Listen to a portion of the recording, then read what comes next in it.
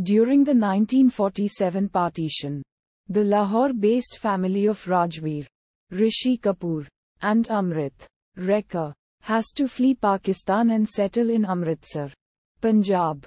In the house that they get to stay, Amrit finds an abandoned baby boy of the Muslim family who owned the house but fled to Pakistan. Because of communal riots, Amrit raises the boy as her own and he grows up to be Ishan. Luv Sinha. During a summer camp visit to Kashmir, Ishan falls in love with Chandani.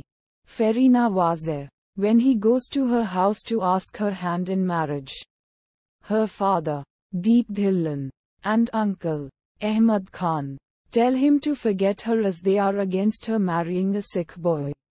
When Amrit and Rajveer come to know about this, they finally declare the truth to Ishan that he is a Muslim in reality and not their child. He doesn't believe them, and Chandni's parents refuse to believe it without proof. The old couple then decides to track Ishan's real parents down and also succeed. Ishan's real mother, Benazir, Hema Malini, comes down with his real father, Javed Sheikh, to take back custody of a now grown up Ishan. Chandni's parents immediately agree to the marriage when Ishan's real parents visit their house.